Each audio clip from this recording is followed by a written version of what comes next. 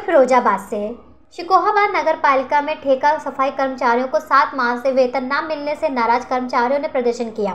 मरे जानवर को कार्यालय परिसर में डाल दिया, जिसे स्थानीय निवासी बदबू से हुए परेशान। नगर पालिका इन कर्मचारियों के वेतन नहीं दे रही, जिससे इन कर्मचारियों को रोजी रोटी की समस्या पैदा हो गई है।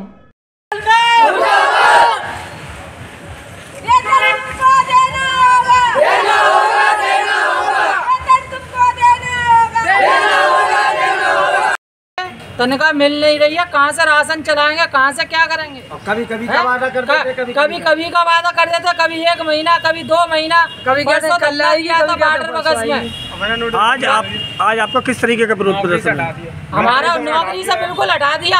अभी हिसाब नहीं हुआ हमारा। वेतन भी नहीं दिया अभी तक। गौतम वाल्मीकि क्या क्यों विरोध प्रदर्शन कर रहे हैं आप लोग? विरोध प्रदर्शन इसलिए कर रहे हैं हमारा आठ महीने का वेतन है। वेतन दिया नहीं है आश्वासन दे दिया है। और हमें नौकरी से हटाने की धमकी नहीं दी है नौकरी से हटा दिया है। आज आप लोग किस तरीके से विरोध कर रहे हैं? इसीलिए विरोध कर रहे हैं हमारी नौकरी से निकाल दिया हमें। हमारे बच्चे क्या करेंगे हम क्या खाएँगे बताइए आप। किस तरीके से विरोध किया जा रहा है आप लोगों का? किस तरह जानवर डालें और अब आने वाले कल में पता नहीं क्या करेंगे हम। इसमें ताला भी डाल सकते हैं फिरोजाबाद से विजय राठौर की रिपोर्ट जन कल्याण न्यूज़।